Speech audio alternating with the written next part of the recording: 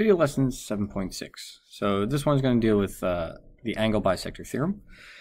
So given this situation, right, we've got a triangle here, and when you have an angle bisector drawn from an angle through the other side, like we have in this particular case here, this line AD would be an angle bisector. So the theorem states that if you have an angle bisector, that intersects the other side of the triangle, right? aka its opposite side here. So in this case, uh, CB. Then it splits the triangle into two proportional triangles. So in other words, right, this, and I'll highlight here, this triangle here would be proportional or similar to this triangle here. Right, and those two triangles are going to be similar to each other. Right, so if they're similar, that means their angles are congruent, their sides are proportional, and we can kind of go down all the characteristics of dealing with similar triangles. Right, so let's look at a first example. Right uh, here. So again, in the information, right, we are being told that DG is an angle bisector. So once again, this line right here is an angle bisector. So now I can make the claim that this triangle, we'll call it the yellow triangle, is similar to the blue triangle here. All right, so that's great.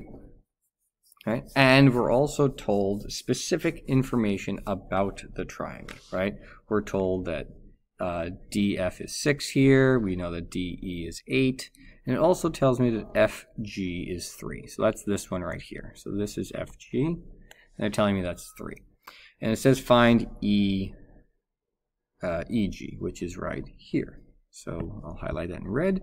And that makes this our unknown, which I'm going to call X. So again, if I know this, the theorem says it splits into proportional triangles, so that means they're similar. So that means a proportion can be made. So I can make a proportion, right, that says the one triangle is proportional to the other. So best way to do this, in my personal opinion, right, is this is your angle bisector. So these are the two angles that are equal, right? So I always make it, if I look at the yellow triangle, I'm going to say the opposite side. So FG is 3.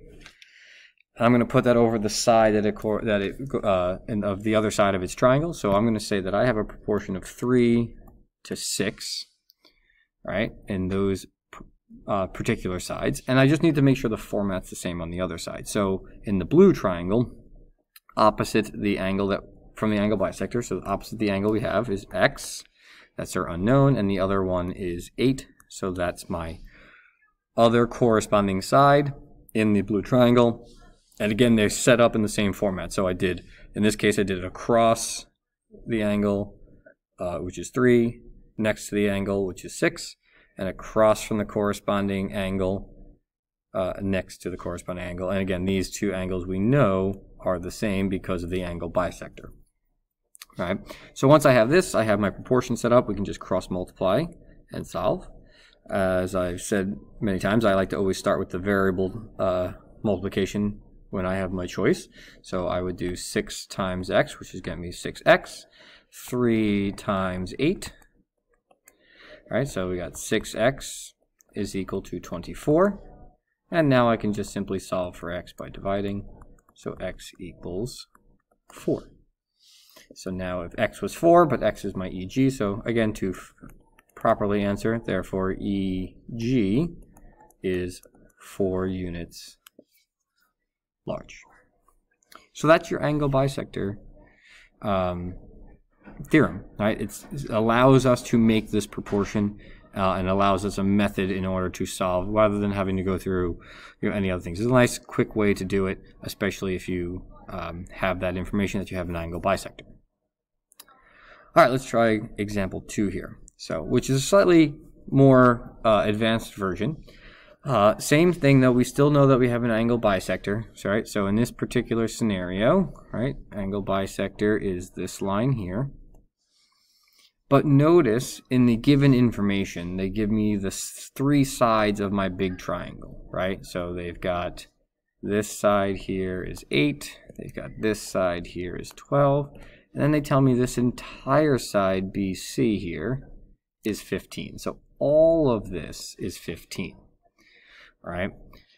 So I don't have a particular piece here, right? So in this diagram, they've already labeled it for me. They've labeled one of them X and the other portion Y. So again, where they intersect here with the angle uh, bisector, where the angle bisector intersects the opposite side, it breaks it up into two pieces, right?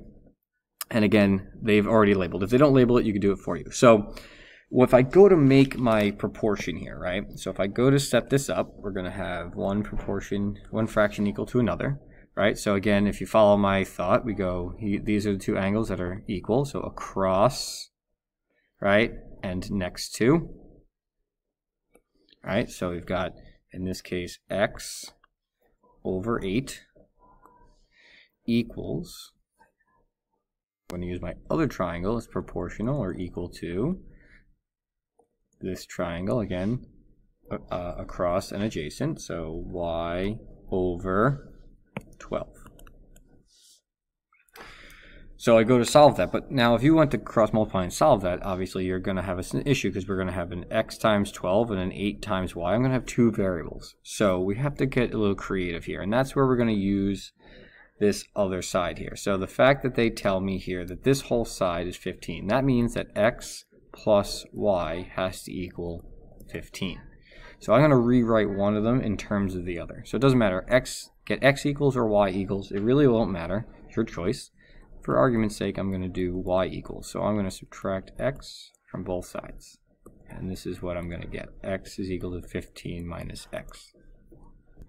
Oops, uh, that gives me, again, y equals 15 minus, and this is x. So now I can take all of this, and I can take all of what y equals, and I can plug it in for this y. And if I do that, so I'm going to rewrite my my uh, proportion now. And we're going to have x over 8 is equal to 15 minus x instead of y is equal to 12. So now when I replace the y with that 15 minus x, now we have a proportion, but I have uh, the same variable. Now they're on each side, and that's okay. It just makes the algebra a little bit more involved, but at least now I have something I can solve. So I'm going to cross multiply right, each of these. Uh, it doesn't matter in this case, we're going to have it on both sides uh, overall. So I'm going to do 12 times x is 12x. And I'm going to have 8 times 15 minus x. All right, so when I go to do this, I have to distribute the 8 to each piece. So I get 12x is equal to 8 times 15, which is, uh, what is that, 120, minus 8 times x, which is 8x, and now I have a regular equation to solve. Again, we want to first get the x's to the same side, so I'm going to add 8x to both sides in this particular situation. That will give me 20x is equal to 120. And now I can divide both sides by 20 to get my x alone. So that gives me x is equal to 6. So there's my x value. Now the question, let's go back and actually answer the question. What is it asking me for? It says find the lengths of x and y. So, uh, so actually this is one of our answers. x equals 6. And now we're going to go find y. So I'm going to take my equation here that I already said y equals 15 minus x and I'm just going to plug in the 6 for my x. So now I know that y equals 9. And there's my two answers. And that's how you're going to get that. So again, that angle bisector theorem allows us to create that proportion. And again, no matter how complex the side values are, as long as you can set up the proportion, you can cross multiply and solve. This little uh, situation here, though, uh, is kind of key uh, to notice, again, you can make this uh, equation up, right, x plus y equals 15 because they told us the entire length of the side is 15. So I can just break this up into really any two variables you want. Again, they use x and y, but again, any two that you want to use. I just wouldn't use letters that correspond with uh, any of the letters that are in the picture. Like I wouldn't use A and B in this case uh, because those are points on your triangle, but otherwise you can create them yourself. All right, take a moment. Uh, feel free to go back on look over any part of the video to help you, uh, you know, take your notes and or go through any of the process.